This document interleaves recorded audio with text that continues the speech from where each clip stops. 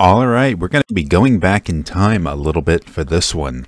It was my intention from the beginning to play the DDT episodes using the official US PlayStation Magazine demo discs in the order in which they were released. Now, since they're all numbered, that was pretty easy, but I found a way, sure as day, to fuck that up. See, the thing is, I didn't Although I did save probably all of the discs, I didn't put them all in one location. Now I have a couple of CD wallets that contained a number of the discs, and I used those to uh, for all of the episodes that I've made so far.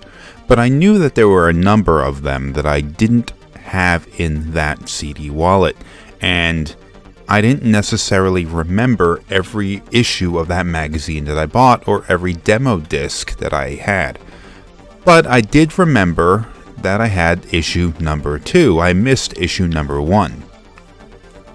But I didn't know where it was. Where? Well, I found it. And here we go. This was the first demo disc from the official PlayStation magazine that I got, and it was one that I played in ass load. Because, of course, money was expensive, and this was in the earlier days when I just had first gotten the PlayStation. So, I didn't have many games, but I could get a demo disc. So Armored Core, let's jump into this. Armored Core is a From Software game that uh, better known for the people who created um, Dark Souls, Demon's Souls, um, Bloodborne, stuff like that. At the time, though, uh, FromSoft was better known for things like the King's Field series. And Armored Core is another one of those series that they had made. Um, let's, uh, I didn't, I never actually ended up buying this game. Although I did get Armored Core Project Phantasma, which was a sort of half sequel to this. And that game was great. But, um, you know that uh, story I told in the previous episode where there was somebody that um, wanted to loan me a copy of um, what was it, uh, Legend of Dragoon. Well, the um, I loaned him the game, and it and it was stolen. I loaned him Armored Core, and it was stolen. So I never got Armored Core back. System engaged. So here we are. Now this doesn't seem like much. It's just a mech game. Not terrible graphics for its era of the PlayStation 1. But nothing like truly remarkable. You just sort of go on these missions, you destroy other robots, and you go on with your day. Now, what's really cool about this, though, is something that I'll get into after I complete this mission. Uh, something on the radar.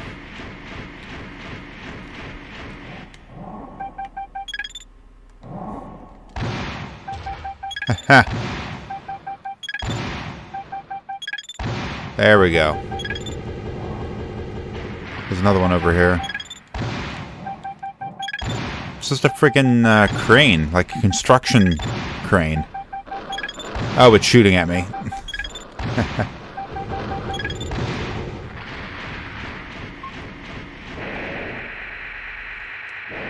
you can fly a little bit.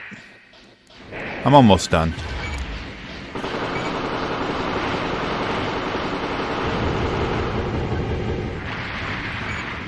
This is not difficult at all. For some reason I remember this game being a lot harder. This demo being harder.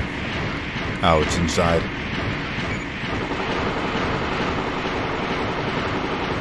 I know, I'm pretty sure you gotta pay for ammunition and pay for repairs to your mech.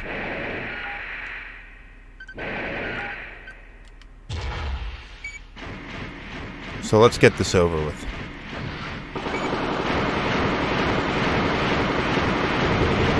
And I'm pretty sure that's it. Awesome. Okay, I completed that mission. Okay, yeah, see, ammunition and repair. So I did make money off of that, but I spent like near half of it repairing my mech and buying ammunition. But here's the big deal about this. You can build your own mech. You design the thing. So, look at this. Okay, so I only have the one head. Oh wait, no. I do have two heads. So you can check to see that it changes. Some of them weigh more or have better armor. That kind of stuff. See, look at this. I have different... Okay, I only have one core. Let's change arms. So, if I equip this one, I can't carry any weapons, but the arms are guns themselves. Okay, tank treads. You move a lot slower using the tank treads, but you can carry a lot more weight. So...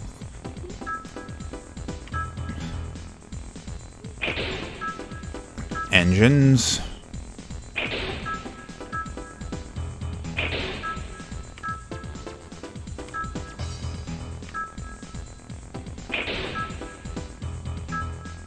Back weapon. Back armor. Back, what is this? I don't know what that is. It might be the radar. Okay, so there. I named it. And I'm pretty sure I can change the colors and put emblems on it and stuff.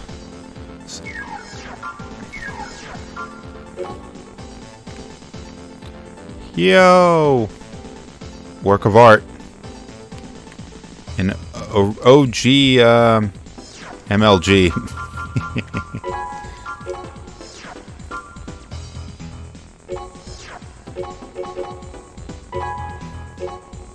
there you go. Option. I don't have any optional parts. Now you can buy parts also with money that you got from winning your shit there. No parts to buy. There's a, another arm I don't have. Oh, look at that. Quad legs. Now there's one other mission. Now let's use the my customized mech for this uh, other mission here. Oh, there's no reward in monetary reward, but I think you get some legs. Now I played this demo a million times because I loved this. Um, the combat area. You'll leave as soon as your AC is deployed. I love this whole game. I mean, the gameplay style takes a little bit of getting used to because Main you're system engaging combat mode. because you are. The game is actually like fairly slow. Your movement is fairly slow.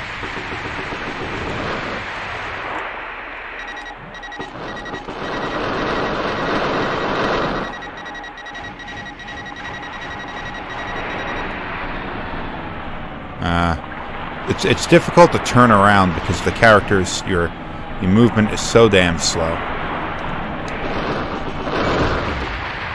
Haha.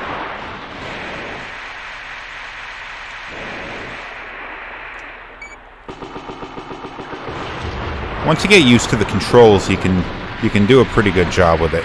But it does take some getting used to.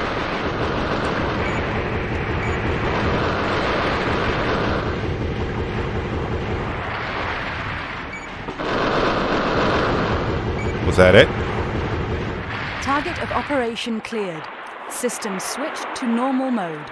Good thing, too, because I just completely ran out of ammunition. See, it, that one just cost me, and now I'm actually in the red. Because of all of the ammunition that I fired off. But I got some new gear. You can repeat your old missions. So I went back and forth, like doing this over and over again until I got all of the equipment. And then once I had all the equipment, then I didn't have anything to do with the game anymore, so I had to just keep playing it. but anyway, moving on.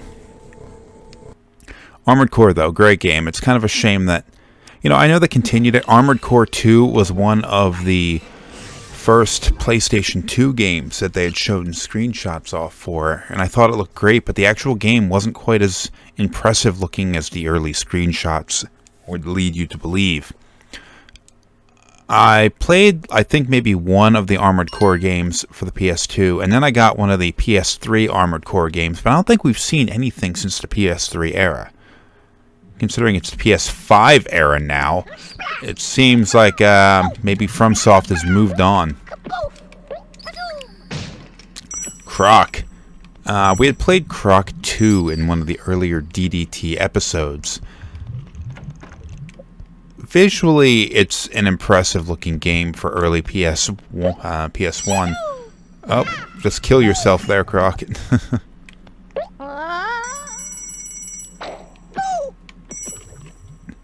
I mean, we're in the.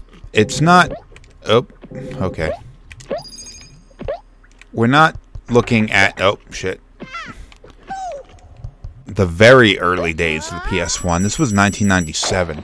The PS1 launched in 95, but it was early as far as I'm concerned with the PlayStation 1, so I'm all that really matters to me. Kaboof! Kasplat! Croc 2 looked better than this one did, but of course it was a sequel, so you're kind of expected to. I, I uh, this was probably my least favorite demo on this disc. I mean, it's the N64 was really where most people went for platformer games, and this one, I guess, isn't a bad one. But if you compare it to, say, Mario 64, which, um, man, they haven't figured their controls out yet. Compare it to something like Mario 64, which has the open more open environments, larger environments. It looks good by comparison to this. I mean, it Croc looks pretty good compared to Mario 64, but the environment's so much smaller. Anyway, moving on. Never owned Croc, just played the demo a few times. Alright, let's get out of this.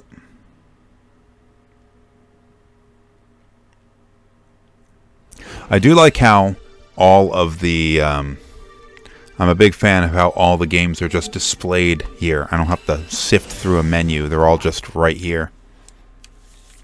Colony Wars.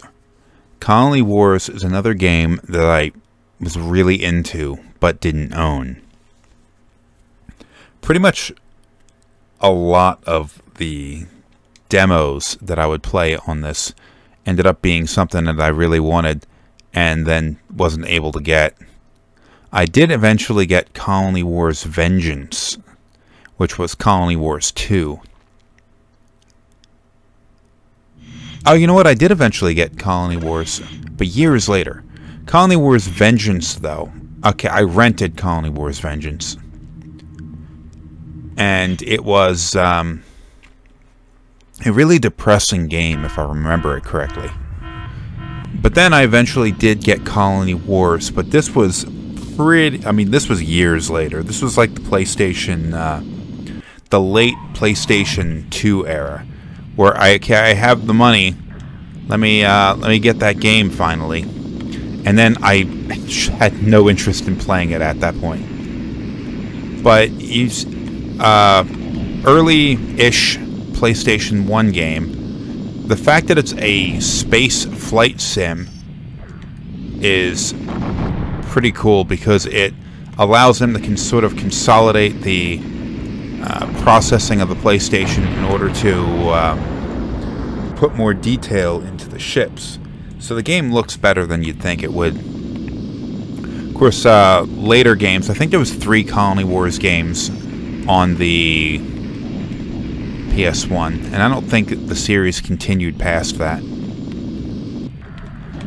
Notice that I have two different weapons I can fire here, purple and red. You use purple to deplete the shields. Once, once you've taken the shields down, you use red to blow them up.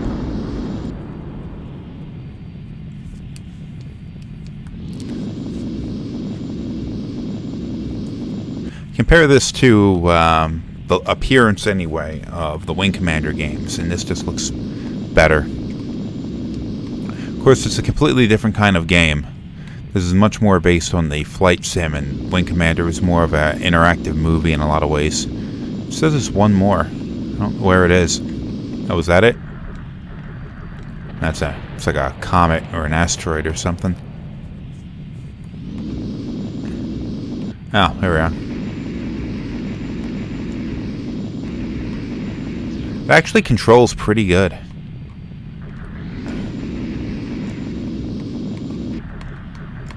All critical. Alright. I'm having a hard time hitting this fucker. Alright, shields down. Yep, I hit him. I don't know if their shields will go up eventually, but... And we win.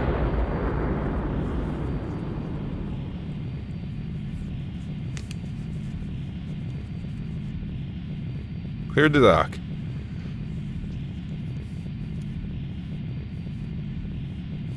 So I did eventually get this game. I just didn't play it much once I eventually got it.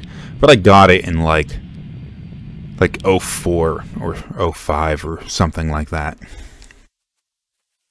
So when I got a lot of, uh, I ended up getting a lot of PlayStation 1 games around that era that I had completely missed. It was a GameStop that I would go to. It's also when I got um,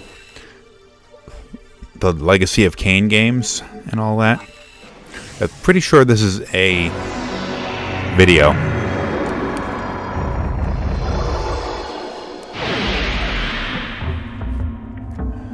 Oh, is it? Oh, okay, it is a video. I saw press X. That's weird. They show you the main menu. Compression of this video is pretty bad. Never played this game. And I'm not a Ghost in the Shell fan either. I'm not I'm not really I mean, I've tried watching anime. I just can't get into it. I did see the Ghost in the Shell movie, the one that was made. I don't know, was that made in the 80s or 90s or early 90s, I guess? This girl's a character in it, and she's a robot. She was a person who was, I forget her name, but she was injured as a child, and she was injured so badly that they more or less had to take her brain out and put it in a robot body. So that's sort of like the ghost in the shell is a reference to the idea of uh, the shell. The shell is the robot, and the ghost is the human consciousness that inhabits it. This looks more like a uh, kind of tank shooter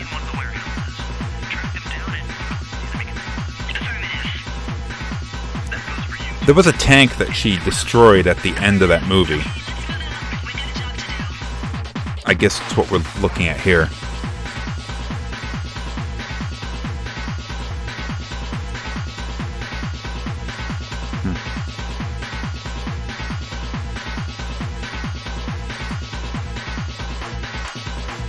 Should look to see if there's any uh, any character models or something I can get to integrate this into the intro. You know, I gotta stop talking about the intros I'm gonna do. Considering at this point, if you're watching it, you've already seen the intro.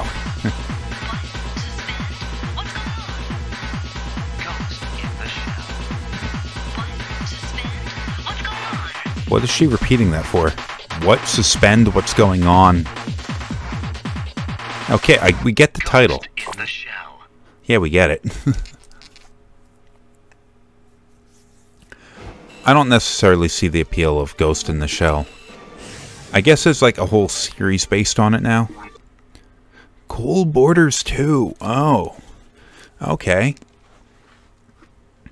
So this is a going to be an interesting one because it's sort of like a halfway between the early snowboarding style games like Extreme and 2Xtreme and the later stuff like Cool Boarders 3 was a game that I had played in an earlier episode. And 2, let's... Wonder about the first one. Never even played the first one or seen it.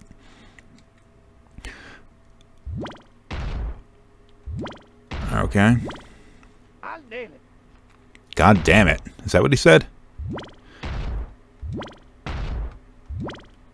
I'll nail it.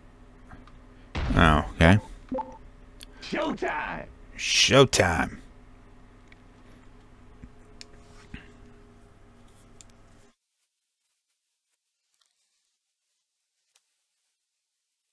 Who will smoke the competition? Ready? Is this a race? Somebody already went ahead of me. Alright, so it definitely looks better than what we had seen in, like, 2Xtreme in an earlier episode of this. Uh, probably the first episode of this DDT series. But it's definitely not not like a, a tour de force in terms of graphical prowess on the PlayStation 1 that we'd see in like Cool Boarders 3. Attack one is coming up. You better hurry. Okay. Go, go, go. Oh shit, you're gonna die. Oh, wow, okay. You just sort of tumble back onto your feet.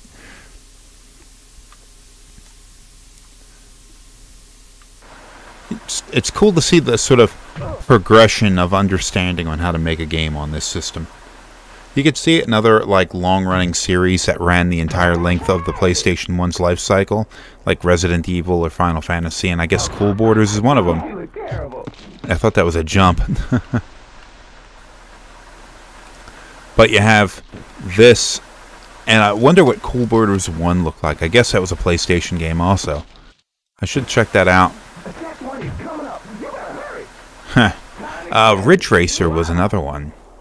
The early Ridge Racers, and then the later Ridge Racers. And then, um, oh, this looks dangerous.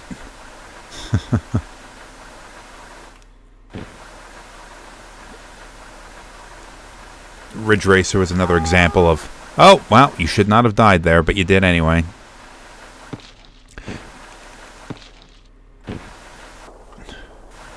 Huh.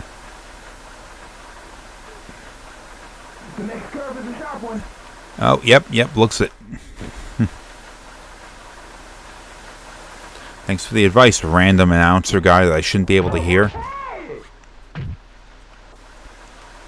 I don't remember playing this much, which, considering how much time I spent with um, this demo disc, is a little surprising.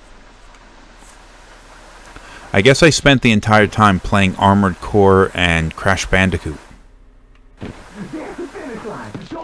I mean, I do remember this Cool Boarders too, but uh, I don't play a lot.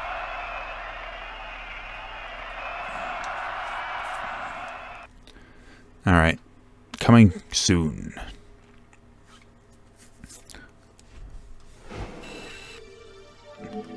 NHL Face Off 98. Okay, it's a video. Maybe not. Maybe it's not a video. Okay, it is a video.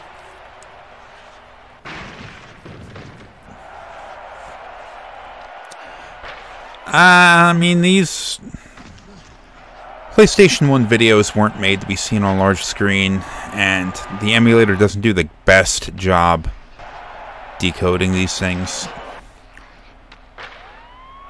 Not that high a resolution. There's a lot of noise and blocking and stuff. So it can be a little difficult to judge how good a game actually looks based on these videos. But this doesn't look terrible. Actually, it looks better than the... Of course, it's a couple of years later, I guess. Better than the hockey game I had played back in... I guess the PlayStation Sampler Pack disc that I did some episodes ago. Oh, that ended rather abruptly. Okay.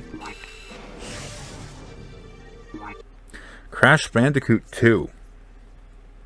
Now, I played Crash 1 on the first episode of this series, and I played Crash 3 later on, so it's good to see I'm playing these in order. Oh, okay. Crash. Always one of the best looking PlayStation 1 games. It's definitely a lot of effort Naughty Dog put into um, into the development of this because this maximizing what they can actually achieve on the PlayStation 1. I mean, this is 1997, but even the first Crash Bandicoot, which is, I guess, the year before, 96, looked remarkably good. And there were there were PlayStation 1 games that came out at the end of that generation. How I always talk about how uh, towards the end of the PlayStation 1, you had a lot of developers that really got a good handle on how to make good looking games for that system. But Naughty Dog seemed to have it right from the start. They released a game that a lot of other developers probably would have killed themselves to be able to pull off early on in that machine's life cycle and then just got better. I mean, this I don't have them side by side to compare, but quick glance tells me that this game looks better than its than the first Crash Bandicoot. And of course, Crash 3 looked even better than this. It's a shame that Crash couldn't, uh, that Naughty Dog didn't continue with Crash. I mean, Crash was overdone. There were too many Crash games, and it does make sense. Like, okay, Crash Bandicoot, they're gonna do, they're gonna do uh, Ratchet and Clank. That's gonna be where it made more sense that Naughty Dog was gonna stop wasting your time producing a series like Crash forever.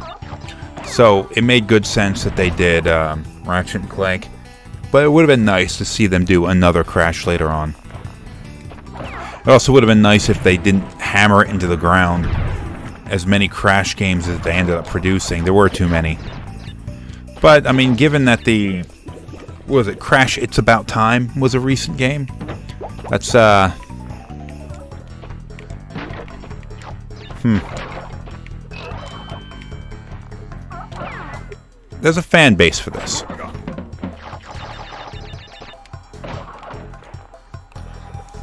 like the kind of side-scroller segments. Crash N. Sane Trilogy was another one.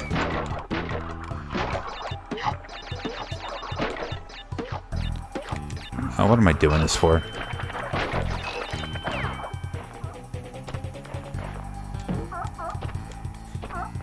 I don't need these whatever fruits. I'm not actually playing the game here.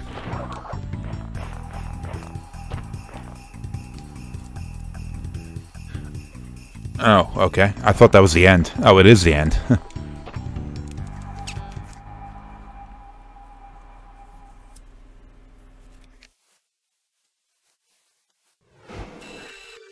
Great game.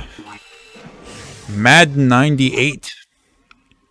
I'm no good at these football games, so don't expect much. Oh, Madden, you looked better. emulators kind of got um, rendering errors, a lot of noise on this screen here.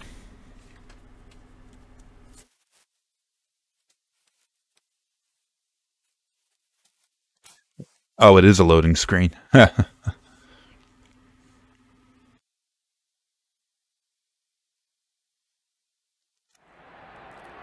Come on now. Hello and welcome to beautiful Green Bay, Wisconsin, where the New England Patriots prepare to take on the Green Bay Packers. Okay, so this is. New England. I guess I'm playing as the Patriots.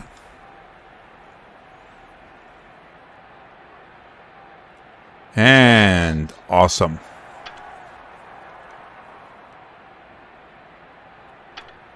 New England has won the toss and elects to receive.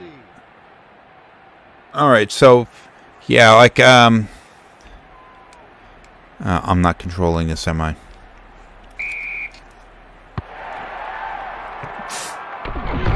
Oh, fantastic! that makes it first and ten. Now, all of my talk about the games looking better later on in the generation, football games are a huge example of that.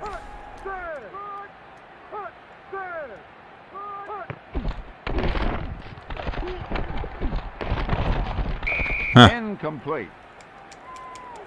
Football games are a big example of that because you have uh, this game here, which again, not the earliest example of a PlayStation 1 game, but definitely a With the tackle. mid gen PlayStation 1 game.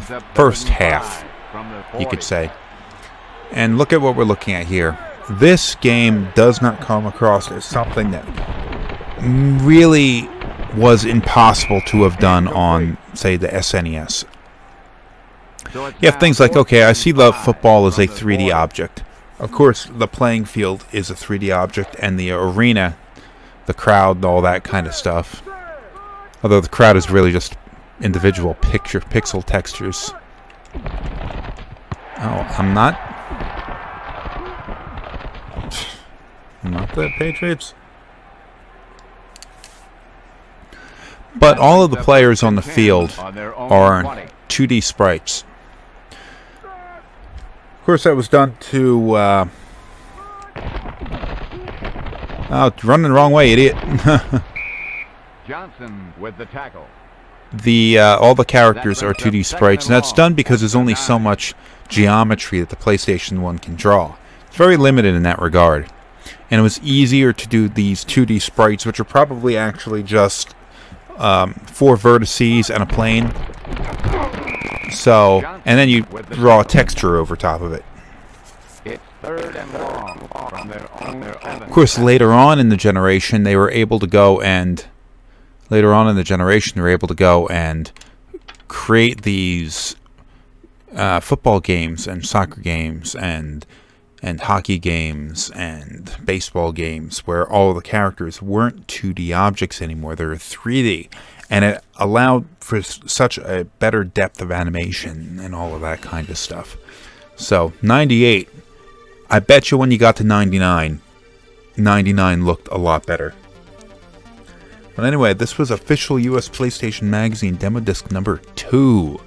I know I I got more of the older ones I skipped over and I'll get to them eventually, but uh, thanks for watching.